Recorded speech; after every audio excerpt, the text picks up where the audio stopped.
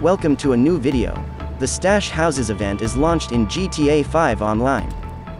With this event you can earn supplies for your business, and GTA Cash and RP. After you take out the dealers in the stash house, you must open the safe to steal the contents inside. But what is the safe code? In this video I'm going to show you how to get the code to open the safe.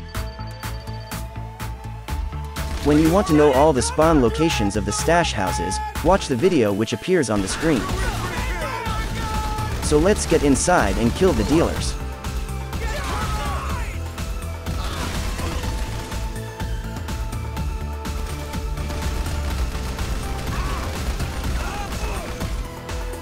Now we can look for the safe code.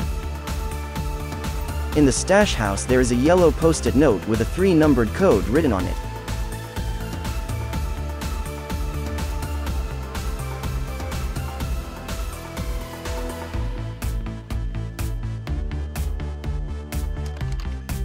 There are some yellow notes, but this is not what we are looking for.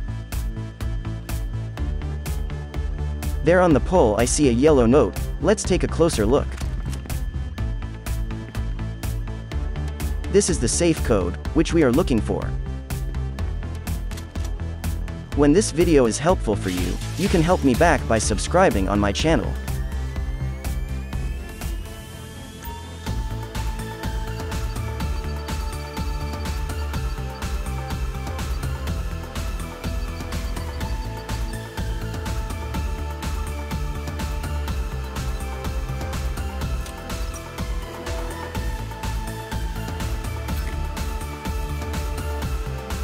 You only have to exit the stash house and leave the area.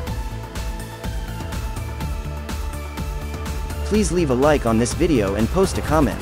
I'm happy to reply you back. I hope to see you in my next video.